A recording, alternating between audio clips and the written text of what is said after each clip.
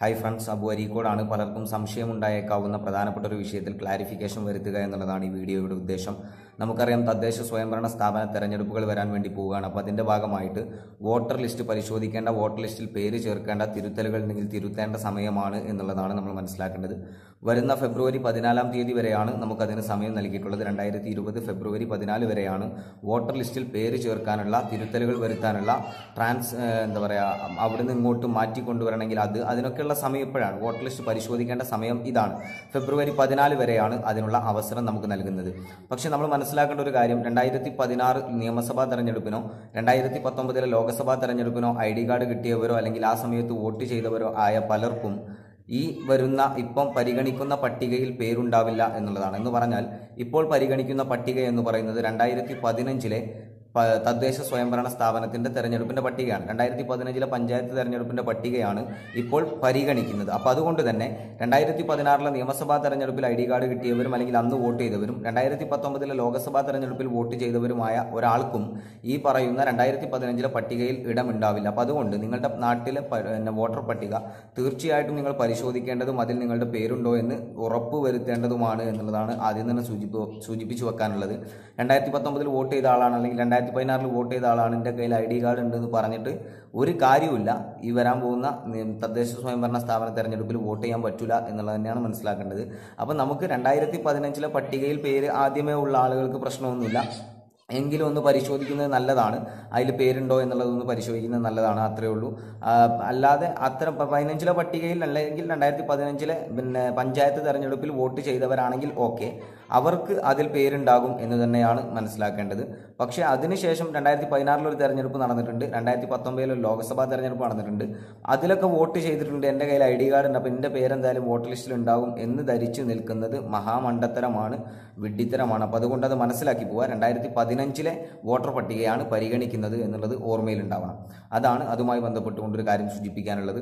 ഇനി വോട്ട് നമ്മൾ ചേർക്കുമ്പോൾ നമ്മൾ മനസ്സിലാക്കേണ്ടത് രണ്ടായിരത്തി ഇരുപത് ജനുവരി ഒന്നിന് മുമ്പ് പതിനെട്ട് വയസ്സ് പൂർത്തിയായ മുഴുവൻ ആളുകൾക്കും രണ്ടായിരത്തി ഇരുപത് ജനുവരി ഒന്നിന് മുമ്പ് പതിനെട്ട് വയസ്സ് പൂർത്തിയായ മുഴുവൻ ആളുകൾക്കും പുതിയ വോട്ടർമാരായിട്ട് അപേക്ഷിക്കാവുന്നതാണ്. എന്ന് പറഞ്ഞാൽ രണ്ടായിരത്തി പതിനഞ്ചിലെ പട്ടികയിൽ ഇടം നേടിയിട്ടില്ലാത്ത അതിനുശേഷം പതിനാറിലും പത്തൊമ്പതിലും വോട്ട് ചെയ്തിട്ടുണ്ടെങ്കിലും അങ്ങനത്തെ ആളുകളുണ്ടാവും അപ്പോൾ ചിലപ്പോൾ ഇരുപത് വയസ്സായിട്ടുണ്ടാവും ഇരുപത്തിരണ്ട് വയസ്സായിട്ടുണ്ടാവും ഒക്കെ ഉണ്ടാവും. അപ്പോൾ എന്നെ സംബന്ധിച്ചിടത്തോളം ഞാൻ രണ്ടായിരത്തി പതിനാറിലെ നിയമസഭാ തെരഞ്ഞെടുപ്പിലാണ് ആദ്യമായിട്ട് വോട്ട് ചെയ്യുന്നത്. അപ്പോൾ അതുകൊണ്ട് തന്നെ എനിക്ക് രണ്ടായിരത്തി പതിനഞ്ചിലെ പട്ടികയിൽ ഞാൻ അംഗമല്ല. അപ്പം നിലവിൽ എനിക്ക് വീണ്ടും അപേക്ഷിക്കേണ്ട അവസ്ഥ വരികയാണ്. ഇതേ അവസ്ഥയുള്ള ഒരുപാട് ആളുകൾ ഉണ്ടാകും എന്നുള്ളതാണ് മനസ്സിലാക്കേണ്ടത്. അപ്പം നമ്മൾ മനസ്സിലാക്കേണ്ടത് ഈ വോട്ടർ പിന്നെ സാധാരണ നമ്മൾ അന്ന് എങ്ങനെയാണോ അപേക്ഷിച്ചത്? അതായത് നമ്മുടെ വയസ്സ് തെളിയിക്കാൻ വേണ്ടിയിട്ട് ഇലക്ഷൻ കമ്മീഷൻ പരിഗണിക്കുന്ന രണ്ട് രേഖകൾ എന്ന് പറയുന്നത് ഒന്ന് എസ് എസ് എൽ സി ബുക്കിന്റെ കോപ്പി അതല്ലെങ്കിൽ ബർത്ത് സർട്ടിഫിക്കറ്റിന്റെ കോപ്പി ഈ രണ്ടിലൊന്ന് എന്ത് ചെയ്യണം? നിർബന്ധമായിട്ടും നമുക്ക് വയസ്സ് തെളിയിക്കാനുള്ള രേഖയായിട്ട് നമ്മൾ കാണിക്കണം. അതുപോലെ തന്നെ നമ്മുടെ വീട്ടിലെ റേഷൻ കാർഡിന്റെ കോപ്പി നമ്മൾ തീർച്ചയായിട്ടും കാണിക്കണം. അതുപോലെ തന്നെ നമ്മുടെ വീട്ടിലെ ഏതെങ്കിലും ഒരാളുടെ ഐ ഡി കാർഡിന്റെ കോപ്പിയും ഐ ഡി കാർഡിന്റെ നമ്പർ അതാണ് അവർക്ക് വേണ്ടത്. എസ് എസ് എൽ സി ബുക്കിന്റെയോ ബർത്ത് സർട്ടിഫിക്കറ്റിന്റെയോ കോപ്പി അല്ലെങ്കിൽ പിന്നെ അതുപോലെ തന്നെ റേഷൻ കാർഡിന്റെ കോപ്പി പിന്നെ വേണ്ടത് ഐ ഡി കാർഡ് വീട്ടിലെ ഏതെങ്കിലും ഒരാളുടെ ഐ ഡി കാർഡിന്റെ കോപ്പി പിന്നെ നമുക്ക് ആവശ്യമായിട്ട് വരുന്നത് നമ്മുടെ ഫോട്ടോയാണ്. ഇത് നാലും നമ്മൾ നിർബന്ധമായിട്ടും സബ്മിറ്റ് ചെയ്യണം എന്നുള്ളതാണ് ഐ പിന്നെ നമ്മുടെ പുതിയ വോട്ടർ ലിസ്റ്റിൽ നമ്മൾ അപേക്ഷിക്കാൻ. ഇത് മാത്രം പോരാ. ഇത് നമ്മൾ ഓൺലൈനായിട്ട് ഇതുവരെ ഓൺലൈനായിട്ട് അങ്ങ് അപേക്ഷിച്ചാൽ മതിയായിരുന്നു. ഒരു മുപ്പത് റുപ്യ കൊടുത്തു കഴിഞ്ഞാൽ ഓൺലൈനായിട്ട് അപേക്ഷിച്ചാൽ പ്രശ്നം തീരുമായിരുന്നു. പക്ഷേ നിലവിൽ അങ്ങനെയല്ല. ഈ പിന്നെ നമ്മൾ അപേക്ഷിച്ച് കഴിഞ്ഞ ശേഷം പഞ്ചായത്തിൽ നമ്മൾ ഹിയറിങ്ങിന് കൂടി ഹാജരാവേണ്ടതുണ്ട്. അതായത് അവിടുന്ന് നമുക്ക് തരും ആ ഡേറ്റ്. നമ്മൾ ഓൺലൈനിൽ അപേക്ഷിക്കുന്ന സമയത്ത് തന്നെ നമുക്ക് തരും ഡേറ്റ് തരും. ഏത് ദിവസമാണ് പഞ്ചായത്തിൽ ഹിയറിങ്ങിന് ഹാജരാവേണ്ടത് എന്നുള്ള ഡേറ്റ് തരും.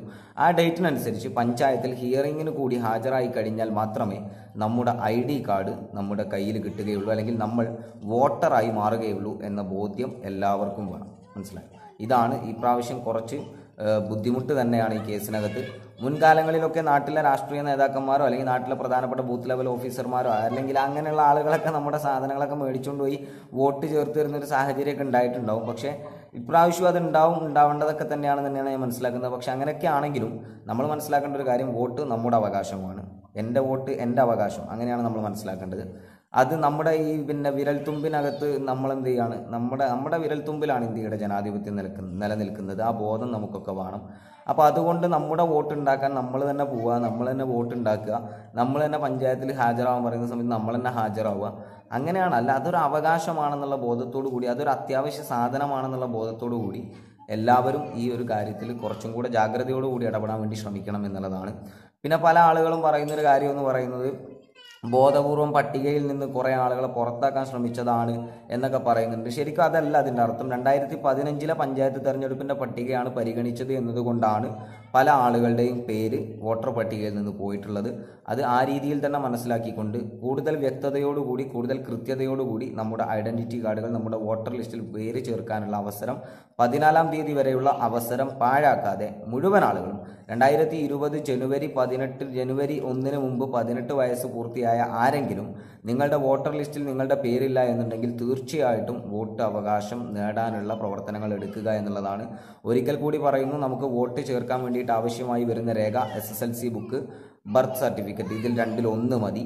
പിന്നെ വീട്ടിലെ റേഷൻ കാർഡിന്റെ കോപ്പി പിന്നെ വീട്ടിലെ ഏതെങ്കിലും ഒരാളുടെ ഐ ഡി കാർഡിന്റെ കോപ്പി നമ്മുടെ സ്കാൻ ചെയ്ത ഫോട്ടോ ഇത് നമ്മൾ കൊണ്ടുപോയി ഓൺലൈനായിട്ട് അപേക്ഷ കൊടുത്ത് അവിടെ നിന്ന് നമുക്ക് തരുന്ന പിന്നെ ഡേറ്റിനനുസരിച്ച് പഞ്ചായത്തിൽ ഹിയറിങ്ങിന് ഹാജരായി കഴിഞ്ഞാൽ മാത്രമേ അതും വരുന്ന ഫെബ്രുവരി പതിനാലാം തീയതിക്ക് മുമ്പ് ഈ പറഞ്ഞ പണി എടുത്താൽ മാത്രമേ വരുന്ന തദ്ദേശ സ്വയംഭരണ സ്ഥാപന തെരഞ്ഞെടുപ്പിൽ നിങ്ങളൊരു വോട്ടറായി മാറൂ എന്ന ബോധ്യം എല്ലാവർക്കും ഉണ്ടാവണം എന്ന് മാത്രം ഓർമ്മപ്പെടുത്തിക്കൊണ്ട് മറ്റുള്ളവർക്ക് ഉപകാരമാകുന്ന ഈ വീഡിയോ നിങ്ങൾ മാക്സിമം പരമാവധി നിങ്ങളുടെ മുഴുവൻ ആളുകളിലേക്കും എത്തിക്കാനും ചാനൽ സബ്സ്ക്രൈബ് ചെയ്യാനും ശ്രമിക്കണമെന്ന് മാത്രം ഓർമ്മപ്പെടുത്തിക്കൊണ്ട് മറ്റൊരു വീഡിയോയിലൂടെ നമുക്ക് വീണ്ടും കാണാം. അബു അരീക്കോട്.